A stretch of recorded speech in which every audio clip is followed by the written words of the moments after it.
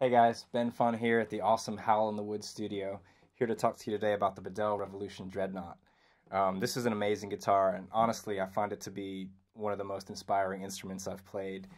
Bedell is a small company out of Bend, Oregon, and they're fantastic guitar makers. They have really good environmental practices, which I think is awesome. Really great people. So this is a special guitar.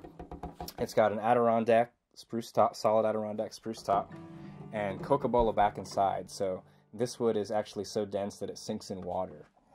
Um, the guitar is also hand tuned. So normally guitar makers just cut each wood, you know, a certain size, but what they do is they actually cut each individual piece of wood so that it resonates for the right fre frequency.